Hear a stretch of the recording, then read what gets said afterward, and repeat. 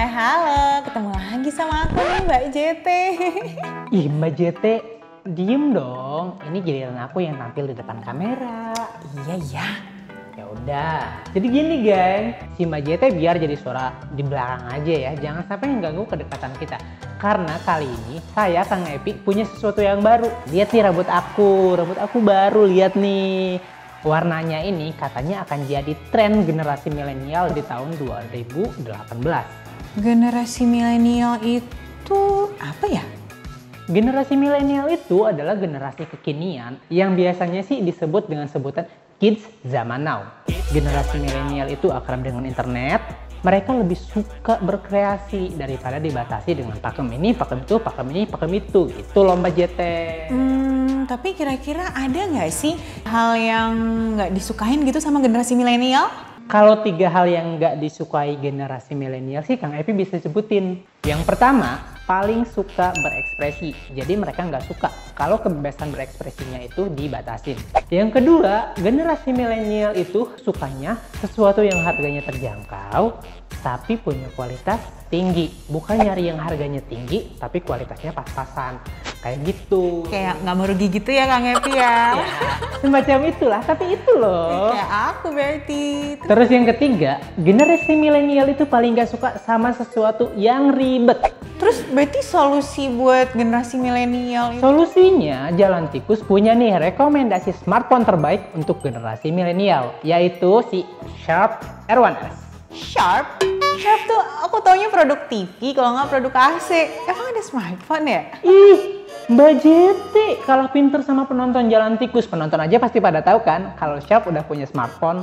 Salah satunya si Sharp R1S. Ah, video iklan nih, video iklan lagi.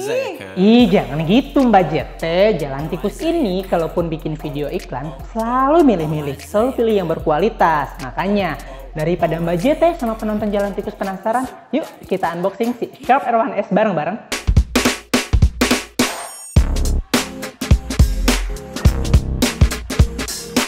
Ini dia Sharp R1S. Biar kalian gak penasaran, kita unboxing bareng-bareng yuk. Apa aja sih yang ada dalam box kemasan si Sharp R1S ini?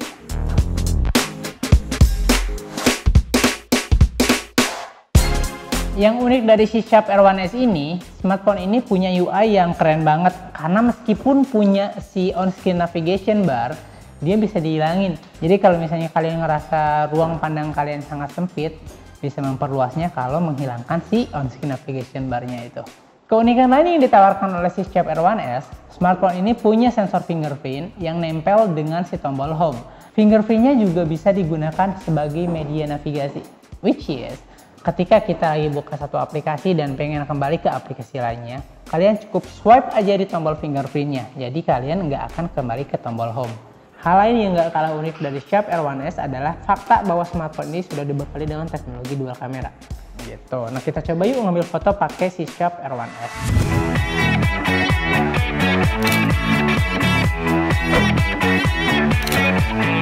Sharp R1S dibekali dengan baterai 5000 mAh. Jadi kamu kalau misalnya suka main game Mobile Legend atau mungkin eksis di sosial media, kamu akan tetap bisa terhubung seharian tanpa harus takut kehabisan baterai. Terus ngomong-ngomong soal nggak ribet, Sharp R1S ini punya layanan uh, garansi yang ada di seluruh service centernya Sharp Electronic.